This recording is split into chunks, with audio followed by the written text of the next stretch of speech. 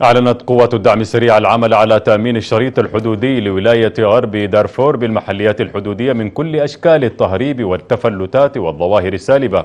وأوضح قائد ثاني قوات الدعم السريع قطاع غرب دارفور المقدم موسى حماد أن قوات الدعم السريع تعمل في محاور ومتحركات لتغطية محليات الولاية, الولاية والوحدات الإدارية حيث تمكنت من ضبط كميات من السلع التموينية والمواتر والأسلحة البيضاء والتراب الخام للذهب والوقود ضمن حملة واسعة لمكافحة الجريمة والتهريب بالتنسيق والتعاون مع القوات النظامية الأخرى والقوات المشتركة السودانية التشادية في جهد متكامل يهدف إلى تعزيز الأمن والاستقرار بربوع الولاية وتأمين البوابة الغربية للسودان.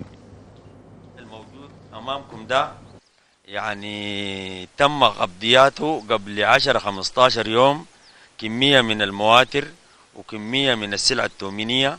وكمية من الوقود وكمية من الحبوب المحرمة وكمية حاجات هائله وتم قبضها تماما وتم زيارتها مع لجنة الأمن والأخ الوالي.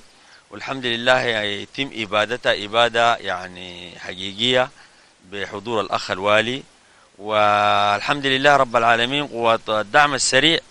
الآن جاهزية سرعة حذف كل الشريط الحدودي لهذه العربات الغير مغننة والحاجات التهريب والحمد لله اليوم يومنا ده مسكنا كمية من الوقود